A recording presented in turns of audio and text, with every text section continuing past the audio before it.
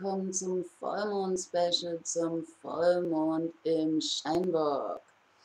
Am 20.07. findet um 0.56 Uhr mitteleuropäischer Zeit ein sehr wichtiger, sehr ernsthafter Vollmond im Steinbock statt.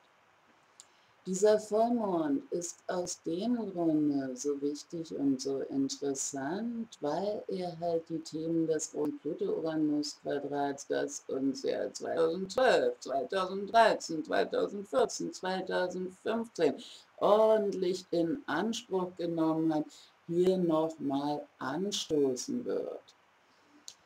Ich kann nur immer wieder betonen, dass ein Vollmond natürlich nicht nur den Tag, an dem der Vollmond stattfindet, kennzeichnet, sondern dass hier ganze Entwicklungszyklen durch Neu- und auch durch Vollmonde gekennzeichnet werden.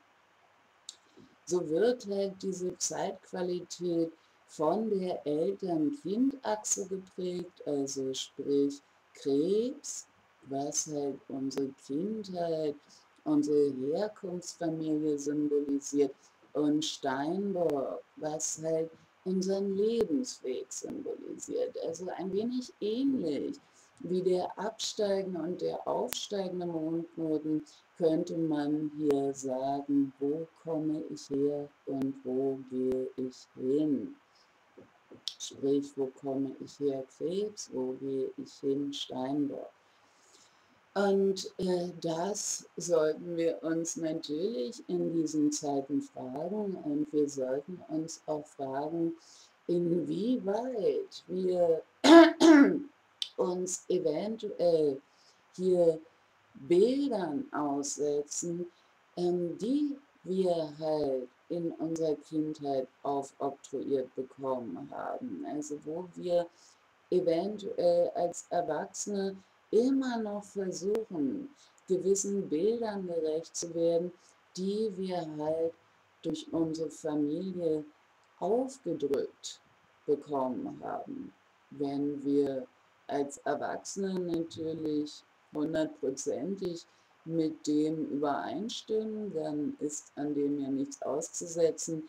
Aber bei den meisten von uns ist es doch so, dass wir uns im Laufe unseres Lebens halt wegbewegen von dem, ähm, was wir in unserer Kindheit und Jugend durch unsere Familie kennengelernt haben. Also wo wir halt bestimmte Einstellungen, ich kann jetzt hier natürlich nicht alle aufzählen, aber was diese Achse betrifft, also wie man zum Beispiel mit Kindern umzugehen hat, ob man zu heiraten hat oder ob man äh, homosexuell sein darf, äh, ob man in einer offenen Beziehung leben darf, was für eine Einstellung man zu Beruf, zu Karriere, zu Geld, äh, zu gesellschaftlicher Anerkennung hat und, und, und, ja.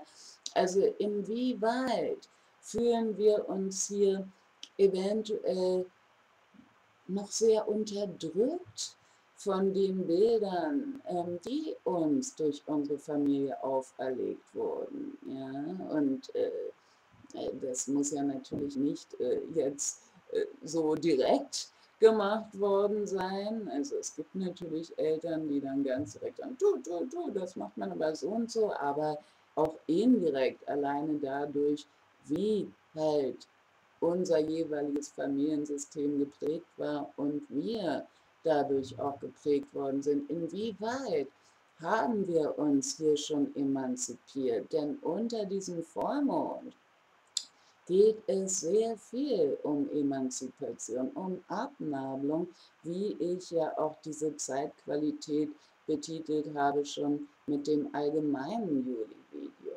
Ja, denn Uranus wird hier im Brennpunkt zwischen der Sonne im Krebs und zwischen dem Mond im Steinbock stehen. Und gleichzeitig wird aber auch hier sehr harmonische Energie mit reinspielen von Mars im Skorpion und von Chiron in den Fischen. Von daher geht es in diesen Zeiten sehr viel darum zu erkennen, Äh, wofür sind wir wirklich verantwortlich? Welche Verantwortlichkeiten sollten wir delegieren an andere? Wo müssen wir uns selbst Grenzen setzen? Wo müssen wir eventuell bestimmte Grenzen erweitern? Wo müssen wir anderen Grenzen setzen? Und wo werden uns durch das Leben Grenzen gesetzt? Also sprich durch die irdische Realität, die ja von Saturn, dem Herrscher des Steinbocks, symbolisiert wird.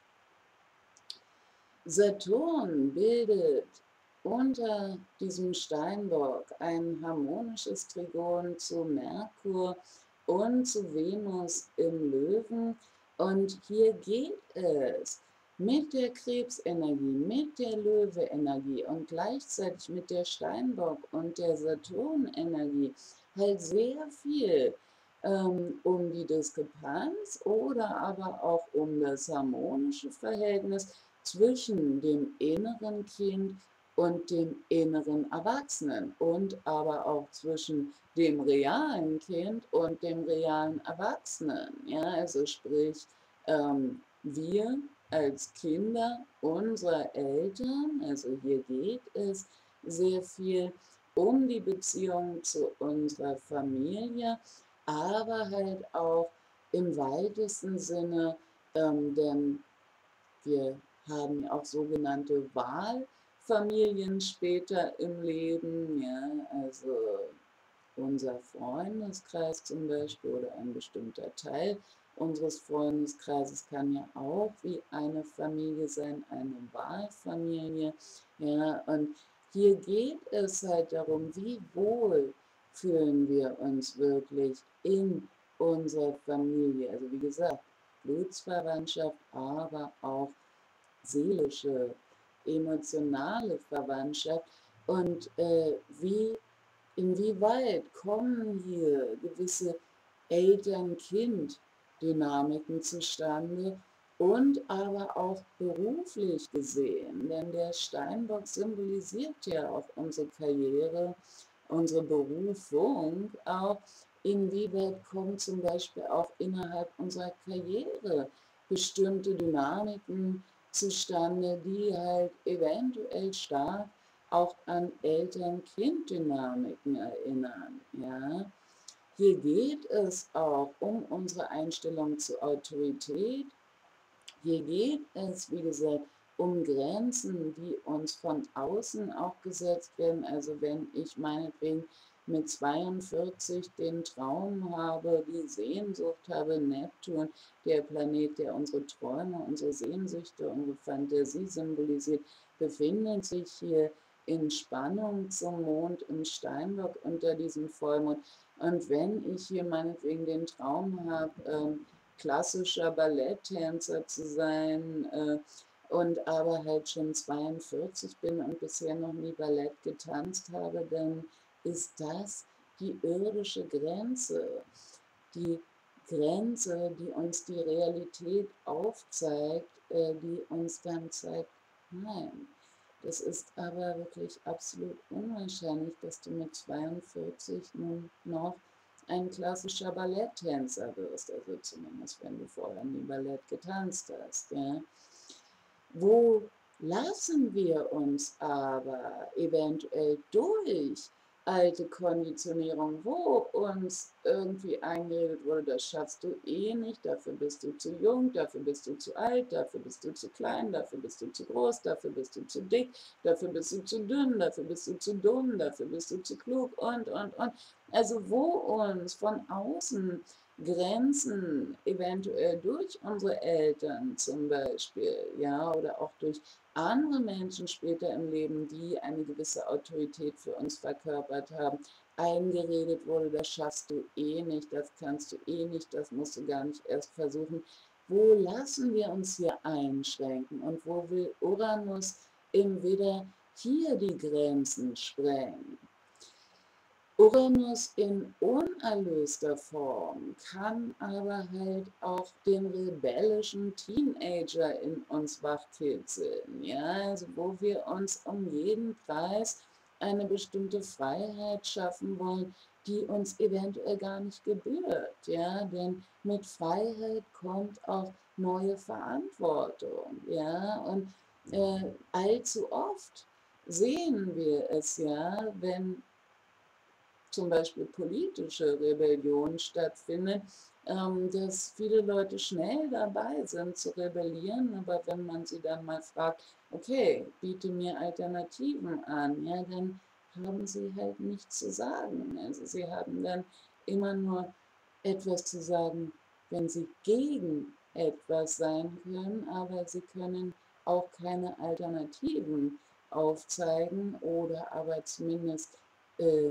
sind die dann nicht oft, zumindest nicht richtig durchstrukturiert. Denn beim Steinbock geht es nun mal darum, dass die Dinge auch Struktur haben müssen, dass sie tragfähig sein müssen, dass sie realistisch sein müssen, dass sie der Zeit standhalten können, dass sie dauerhaft sein müssen, dass man hier auch mit Ausdauer auf gewisse Ziele hinarbeitet, ja, und dass man halt wie das Tier, der Steinbock selbst, hier Stein für Stein erklimmt, bis man die Bergspitze erreicht. Ja. Okay, liebe Leute, wie immer gibt es so viel zu sagen ja, zu den einzelnen Themen und hier spielen ja viele Faktoren mit rein. Was ich abschließend nur noch sagen möchte, ist, dass wir halt uns mal die Analogie heranziehen können, wenn wir ein Glas Wasser in die Hand gedrückt bekommen und dieses Glas Wasser halt 30 Sekunden halten, dann werden das die meisten von uns schaffen. Wenn wir dieses Glas Wasser eine Stunde halten sollen, dann werden es schon wesentlich weniger von uns schaffen. Wenn wir dieses Glas Wasser drei Jahre halten sollen, dann werden es ganz wenige von uns schaffen. Hier geht es auch darum, eine Belastung dauerhaft halten zu können oder aber wo man sich verbiegt unter der Belastung. Ja, also wenn ich mir vorstelle, ich halte dieses Glas drei Jahre lang, dann wird mein gesamter Körper, meine gesamte Wirbelsäule, meine Hände alles werden sich so verformen, nur um dieses Glas Wasser halten zu können. Ja? Und von daher ist es bei jeder Form von Belastung, dieses Glas Wasser ist natürlich nur symbolisch für die Last, die wir tragen, für die Belastung, für das Gewicht, das wir tragen, worum es halt unter Saturn oder im Steinbock auch geht.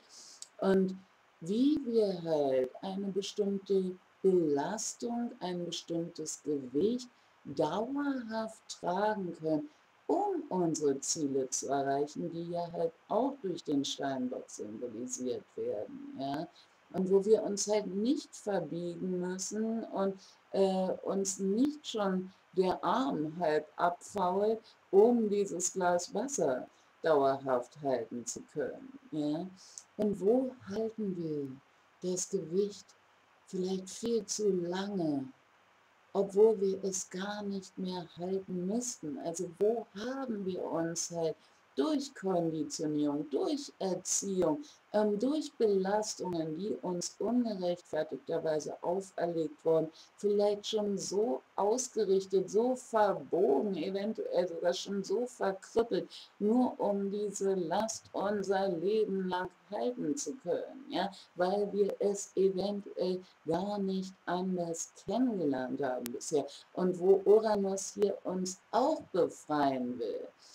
In dieser Analogie wird allerdings auch deutlich, wenn wir dieses Glas Wasser nun so lange gehalten haben, dass wir uns schon dementsprechend verformt haben, dann nützt es auch nicht, nur das Glas Wasser fallen zu lassen oder abzustellen. Und auf einmal sind wir wie magisch befreit, ja, denn wenn wir diese Last viel zu lange getragen haben, also länger als uns gut tut, dann wird sich, wie gesagt, unser gesamtes System dementsprechend ausgerichtet und eventuell sogar verformt haben, dass wir dann zwar den Schlüssel darin finden zur Befreiung, das Wasser einfach fallen zu lassen, aber danach müssen wir uns halt erstmal neu aufbauen, neu ausrichten, ja, regenerieren eventuell auch. Wie gesagt, das ist eine Analogie, die aber halt auch sehr viel mit dieser Achse zu tun hat, was natürlich durchaus auch auf emotionale Belastung übertragen werden kann, also wie zum Beispiel auch auf Stress oder auf eine emotionale Last, die uns durch unsere Familie eventuell ungerechtfertigterweise auferlegt wurde.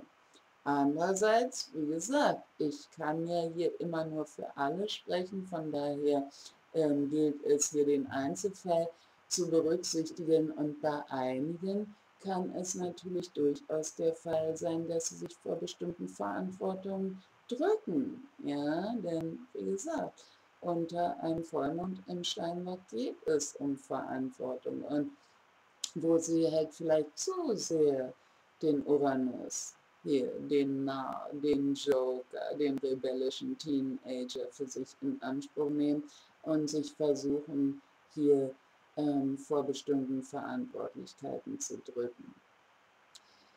Liebe Leute, wie immer könnt ihr euch sehr gerne persönlich von mir beraten lassen und dann Kontakt zu mir aufnehmen über mein Kontaktformular auf meiner Website oder aber über meine E-Mail-Adresse ganz direkt lia.symbolsystem.de. Wie immer könnt ihr sehr gerne meinen Blog verfolgen und wie immer könnt ihr euch natürlich auch sehr gerne meine spezifischen astrologischen Videos anschauen, in denen ich dann astrologische Themen ganz gezielt und ausführlich bespreche. Einen erfolgreichen, hoffentlich sehr heilsamen Vollmond in Steinbock. Bis dann, ciao.